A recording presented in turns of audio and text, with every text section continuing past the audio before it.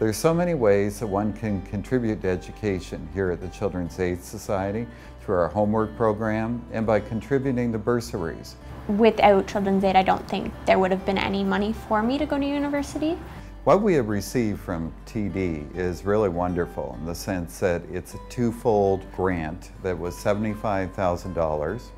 $50,000 goes towards a program that we call Our Youth Charting the Course for the Future, which really enables youth that don't fit into that traditional mode of education. The second component of the grant is the TD Completion Bursary, uh, which gives our youth, upon completion of a university degree or a community college diploma, the opportunity to be reimbursed for some of those expenses that they have incurred during the duration of their studies. I have a lot of OSAP loans right now, so this, this money will definitely help in the long run in paying back some of those OSAP loans. A contribution to a bursary is helping to write a child's story.